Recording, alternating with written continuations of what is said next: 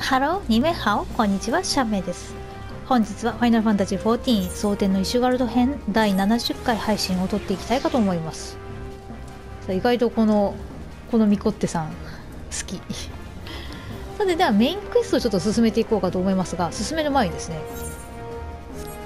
新たにお友達を出していこうかと思います。えーっと、どうしようかな。この子でしょ。フリオニールさん。マメット・フリオニール。古の英雄を模した魔法人形。いいじゃないか。ただだし。こんなキャラだったっけ？えっと、ミニオンリスト。これですね。マメット・フリオニール。古の言うフリオニールを模した魔法人形。非常に手の込んだ一品だが、現代の英雄に送りたいと去る船乗りが持ってきた。その裏に何か意図がありそうで怪しいが受け取っておこういいじゃないかただだし。どうしたんだ？これ誰のセリフって感じだよね。なるほど。フリオニーさん。なでる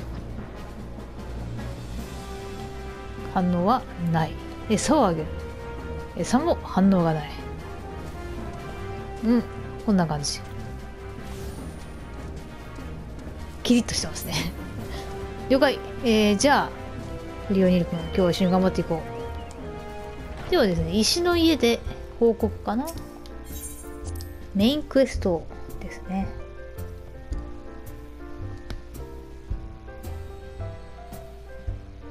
ムービーがある予感。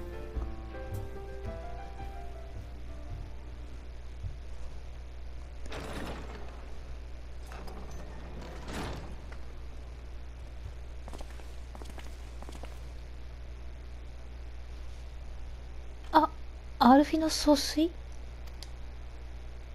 それにシャンメイも無事だと信じていたぜ。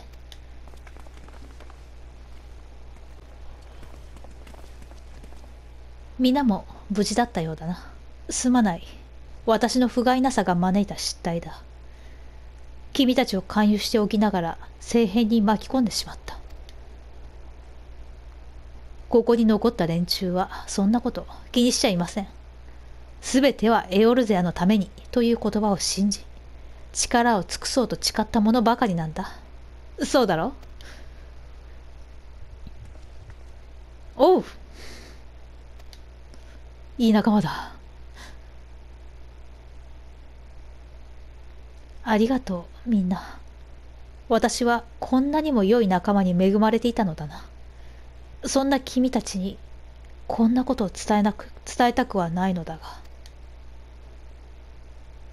おっとそっから先はなしだぜ責任感の強い総帥のことだどうせここに来たのも自分の口からクリスタルブレイブの解散を伝えるためだろでもな俺たちは相談してたんだもしも総帥が解散を命じたっててこでも動くもんかなって俺たちはまだまだあんたについていくつもりだぜ。この、このチーム。いいね。君たち。組織としてのクリスタルブレイブが終わったって、その理想の輝きはまだ失われてはいないはず。希望の灯火はまだ消えてはいない。そうでしょ？総帥、いや、アルフィノ。俺たちに暁の決命を手伝わせてくれないか？消えちまったミンフィディアたちの捜索を手伝わせてくれ。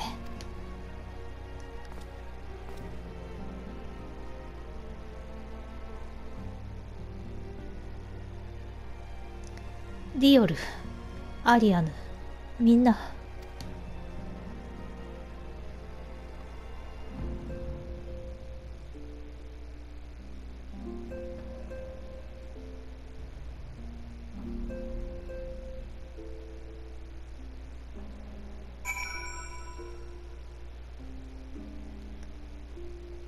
いや、でも、ここに残ってるのはもう本物ですよ、みんな。さあ、レベルが足りなかったね。えー、っと、今何になってたっけ？裁縫になってるね。え、っと、ちょっと待ってよ。ライトでいいか。よし、アルフィノ君に報告をする前に他のメンバーとか会話違う？土地が変われど同じ志を抱く者たちの姿とは美しいものだなひきりさんどうすか？随分と荒らされてしまいましたね。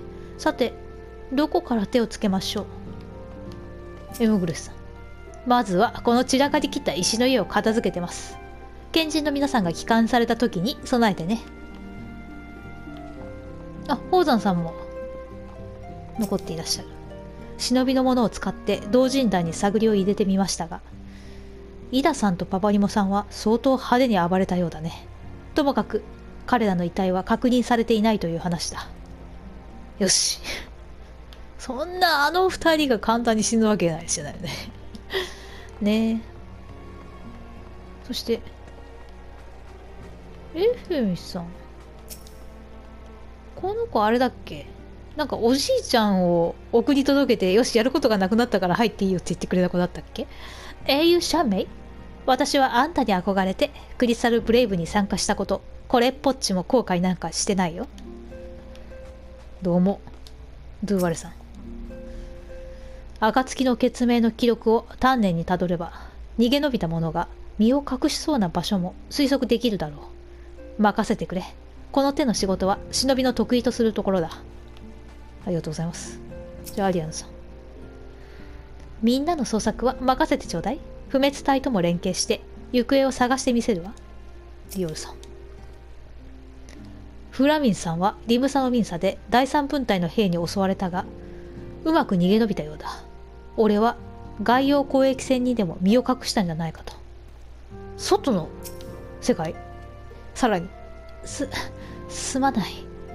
もう涙は流すまいと決めていたんだが。あ泣いてた。以前祖父類蔵は言っていた。最も辛い時に共に歩んでくれる者こそ真の友だと。私はこんなにも多くの友を持っていたのだな。私は彼らの信頼に値する男になりたい。そのためには前へと歩み続けなければ。コンプリート。じゃあ続きのクエストを受けていきますかアルフィノ軍レベル55クエスト。決戦を前にアルフィノは石の家でやることがあるようだ。チュチュ。ディオルたちと今後の動きについて少し話したい。砂の家のウリエンジャたちやイッシュガルドのタタルと情報を連携する体制を整えたいんだ。シャメイ一足先にイッシュガルドに戻りシドたちの様子を見に行ってほしい。こちらの準備が整い次第私もすぐに駆けつける。よっしゃ今度こそ一応中見といていい？多分まあ何にもないだろうけど。何もないだろうけど一応ね。何もない本当に。ガランとしてる。よしじゃあイシュガルドまでワープですかね。ではワープ。さて、えー、イシュガルドのこちら。えー、何さんでしたっけ？アインハルト伯爵邸ですね。こちらのところまで来ておりますので今再放置になっております。バーテロットさんに話を聞いていこう。裁縫の仕事を紹介してほしい。アインハルト家は懐事情が厳しいのだ。それどころではない。目下羽振りがいいのはデュランデル家だろう。デュランデル伯爵邸に押しかけて衛兵に売り込んでみることだな。へへちょっと遠いんだよな。デュランデル家。聖レマの大聖堂のあっちの方まで行かなきゃいけないのか。うん。じゃあその前にね。これ先にやっときゃよかったな。えー、っと。年金でよかったっけ？年金じゃないな。採掘だっけ？もう忘れている。えっとね。あこれか。採掘だね。よいしょ。よし。あちなみにあのビラプリをしましてちょっとうさぎさんなどかわいいですね。じゃフォルタン家の岸さん。ん？私に要件でも。お手紙ですよ。そうか。え傭兵団が探している採掘の専門家か。うんなるほど。実績など申し分ないようだな。早速派遣先の隊長と会えるよう手配しておこう。我が主フォルタン伯爵は合理的な考えをなさる方でな。機下に違法の傭兵団を抱え外地での経験や知見を活用しておる。純潔を是とする我が国にあっては珍しいことだ。君に紹介する人風傭兵団もその一つだ。忘れられた騎士艇にてハイムリック隊長へと会うがよい君の力を必要としているのはその男だ。お使い。どうしようかな。じゃあとりあえず一回忘れられた騎士艇まで行ってくるか。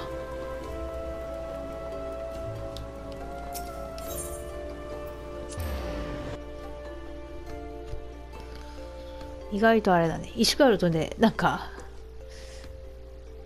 なんか掘ってこいみたいなやつはないんだね。なんかちょっと意外というか。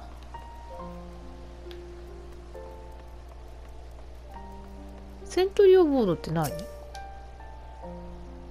あモブハントの手配書が貼り出される。活用したことなかったな。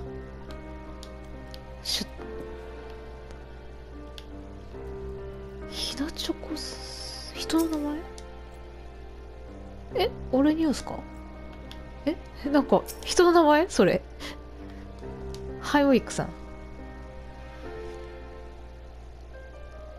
ションメイジェリーフィッシュ君だな。待っていたよ。人風傭兵団のハイムリックだ。俺が率いる一帯は資源調査が主な任務。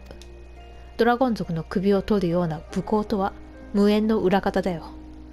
だが長期にわたる経戦には不可欠な役割という教授を持ってこの仕事をやらせてもらっているよ。フォルタン家の旦那は俺たち人風の傭兵に指揮権を含むかなりの裁量を認めている。専門家でもある君にも任務中は俺の指示に従ってもらううん無論採掘士に交戦を命じるようなことはないが自分自身の身を守る必要は嫌でも生じるだろう。覚悟してくれ。へへ。資源の眠る秘境ともなれば野生の狂獣もいっぱい出るっすよ。泣きべそかいて逃げ出さなきゃいいけど。すまん。こいつは俺のタイの若造でな。ご覧の通り口の利き方も知らん半人前。あだ名はひなチョコまだ卵の殻も取れん未熟者だ。うううちのタイはなぜかあだ名で呼び合う伝統なんすよ。そうだ。この専門家先生にもあだ名をつけてあげないと。何がいいかな。うーん。そのまんま先生とか？先生か。悪くないな。現在我が隊は次の任務まで待機中だ。出動の際はここで通達する。よろしくな先生。先生と呼ばれているがウサギです。へえ。お使いしてやっぱり終わりだったか。次からなんか追ってこいとか来るのかな。さあ採掘士の新たなクラスクエストが開始されました。レベル53以上でハイムリックから受注可能です。というわけで受注できてしまうので受注してしまおう。レベル53クエスト。戦いそして生き様。忘れられた騎士艇のハイムリックは初任務を冒険者に伝えたいようだ。受注我が隊に先生を迎えて初の任務が下ったぞ。クルザス西部高地での資源調査だ。どうかよろしく頼む。へえ。任務となる場所では以前の調査で精霊銀行ハイクオリティが見つかっている。先生に腕を振るってもらい埋蔵量推定の材料としたい。さて任務の手はずだがクルザス西部高地で合流後すぐに調査を開始する。ブラックアイアンブリッジ南西で落ち合おう。あまあまあ今後向かうところですね。今後というかこの後。さあではですね一回戻るか。一回ね裁縫に戻りまして。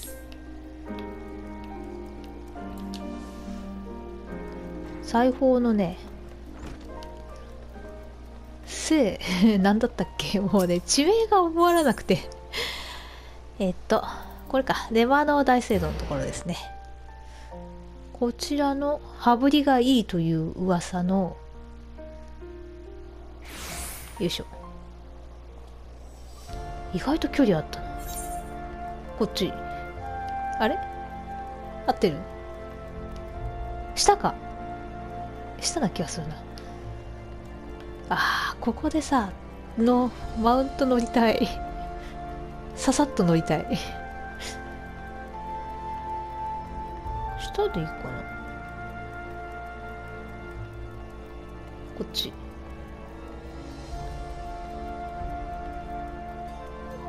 ほほほフラモンシスさん。デュランデル家ですね。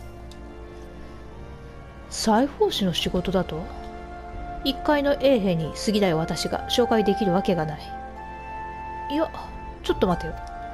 そういえばグレンダさんが裁縫師を探していたな。彼女は貴族のご婦人でね信心深い方だから聖レマの大聖堂で会えるはずさ。微妙な位置関係よさっきから。これすぐ横に見えてもさあの上下の段差があるから去っていけないっていうね。なかなかうまく作ってありますよ。ここ？でいい？うん彼女？中かな？教会はいいね。なんかかっこいいね。なかなか行く機会がねないんだけどね。実際のリアルの方でも。じゃあグレンダさん。あはい。私がグレンダですが。え？裁縫師としての仕事を求めているですって？先進ハルモネを御心に感謝いたします。ここ数ヶ月毎日捧げてきた祈りが届いたのですね。私ね娘に裁縫を教えているのだけどこれが全く上達しなくてほとほと困り果てていたの。だからこうして裁縫の教師を使わせてくださるようここで祈りを捧げていたというわけ。まさしくあなたこそ女神様の使徒に違いないわ。早速娘のアベリルにと話をしてみてくださる。本当は家にいてほしいのだけどおてんばなの子はきっと尊者の凱旋門あたりにいると思うわ。お使い。お使いは悪くないですよ。このね街の構造を知る上でねお使いクエはね必須です。一回メインエでいやちょっと待ってよ。忘れられた騎士艇あたりかな。フォルタン系こっちあはいはいはい。ランディングだ。聖ガンディオルなんちゃら。ランディングのところですね。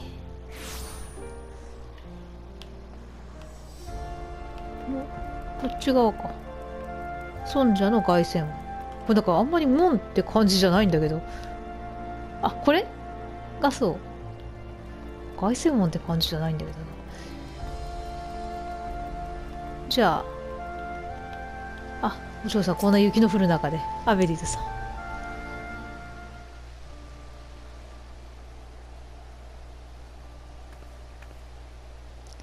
あなたは母が雇った裁縫師さんですね。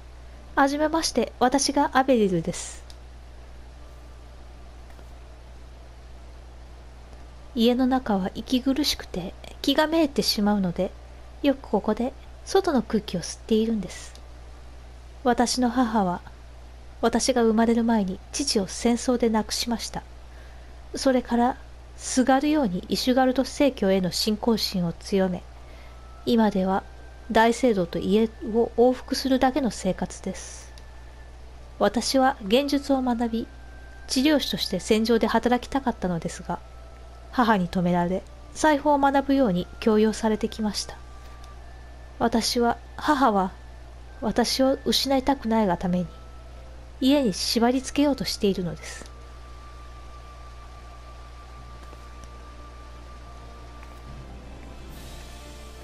お母さん。やっぱりここだったのね。これからは、こちらの裁縫師さんにで何でも注文して、それを手本にしながら練習しなさい。それとね、何度も言ってるけどこんな場所はこんな場所に出歩くものじゃありません。貴族の女は家で祈りとともに裁縫を続ければいいの。はいお母様。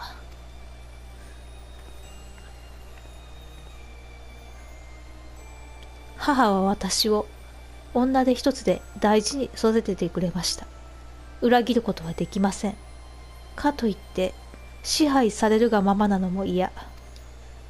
実は私もそれなりに縫い物ができるのですが母の前ではできないふりをしているだけで。ですから裁縫師さんから裁縫を習わなくても平気なんです。せっかく来ていただいたのに申し訳ありません。ただ私だって可愛い服は大好きです。私の腕では作れないものが見つかったらその時は教師ではなく職人さんとして制作をよろしくお願いします。おおいコンプリートなんかお使いだけになっちゃったけど大丈夫。裁縫師の新たなクラスクエストが開始されました。レベル53以上でアリアンさんから。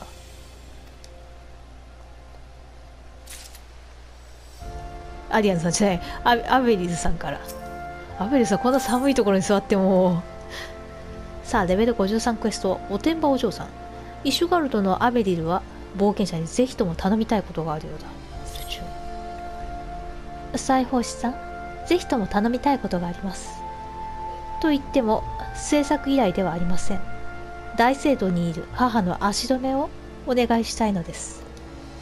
今度現実とともに現実を共に学んだ友人たちとお茶会があるのですが母は私を行かせたくないようでお気に入りのドレスを隠してしまったのです。でもどうしてもお茶会には出席したい。なぜなら私の初恋の人が来るから。あの人と会う会うのにドレスなしなんて考えられない。失礼。取り乱してしまいました。とにかく私は家で隠されたドレスを探し出したいのです。そこで私がドレスを探している間聖レマノ大聖堂にいる母のグレンダと立ち話でもして時間稼ぎをしてほしいのです。あれ今回もお使いなのかな？比較的簡単なクエストだよね。ちゅうん？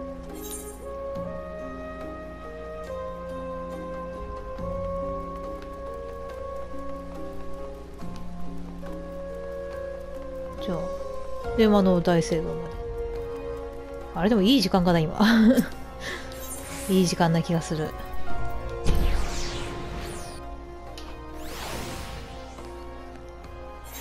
でちょっと立ち話したら終わっとこうか。さあお母様。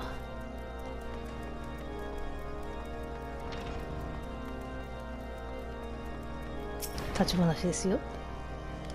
あらなんであなたがここにいるのかしら？もしかしてあなたも祈りに来たのかしら？おおえなんか意味あるこれ。いいえ。でしょうね。どうせあの子からの注文がなくて暇なのでしょ？困った子だわ。アベリルには早く裁縫を上達してもらって治療師になるなんていう変な考えを。忘れてほしいのに。あなたにはわからないでしょうが娘は私の生きがいなの。夫を失って絶望していた私に娘は生きる希望をくれた。あの子だけは失いたくないの。戦争なんて絶対に行かせない。そもそも女は戦場で足手まといになるだけですから。だいたい最近の若い娘は話が長くなりましたね結局。なのよ。あらやだ。ついつい喋りすぎたわね。私はもう帰りますわ。これは長引きそうだぞ。比較的。まさか。よし、じゃあ今回はここまでにしておこうかな。よいしょ。というわけで、ご覧いただきありがとうございました。えー、では、サイフォークエスト、意外とこう、レベル53クエスト、意外と続きそうですので、この後も次回やっていきたいかと思っております。では、失礼します。